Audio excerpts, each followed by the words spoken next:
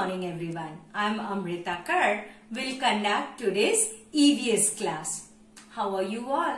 I hope you all are safe at home. And not only that, you are practicing everything whatever we are teaching you through video. What's our today's topic? I'm not going to tell you. Look at the screen. You will understand what is our today's topic.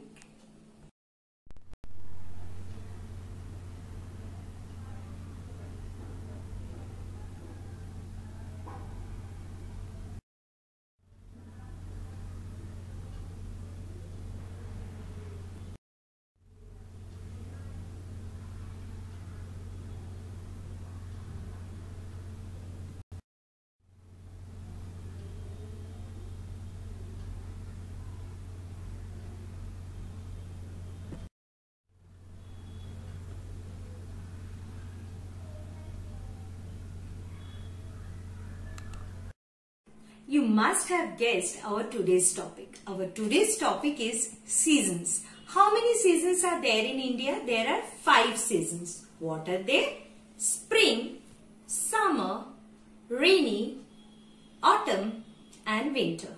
Once more, repeat after me. Spring, summer, rainy, autumn and winter.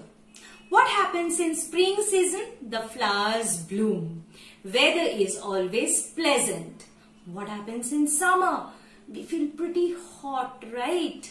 That's why we like to have cold drink or ice cream, something cold. And we wear light cotton clothes.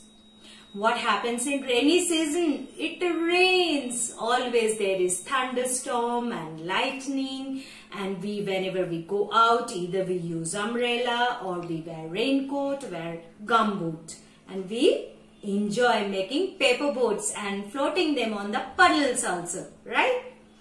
What happens in autumn season? In autumn season, leaves change their colors and trees shed their leaves as well. And in winter season, we feel cold. That's why we wear sweater, jackets, mufflers, isn't it? So, every season comes with different weather. At times we feel cold, some other time we feel hot. We wear clothes according to the weather as I have already told you. Now, we are going to discuss about a particular season and I will recite a poem for that. The name of the poem is Fall Leaves. One is orange, two are brown, three look yellow on the ground. So in which season leaves change their colors? In autumn. So today we are going to discuss about autumn season in this video. This is autumn season. You can see how the leaves look like. Trees shed their leaves during this season. In autumn season, leaves change their colors. We celebrate Navratri and Diwali during this season.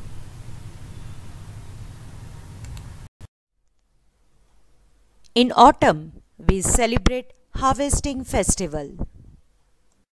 So what all we have learned in today's class? We have learned about the five seasons which exist in India as well as we have learned about autumn season. Thank you for watching this video. Bye bye. See you.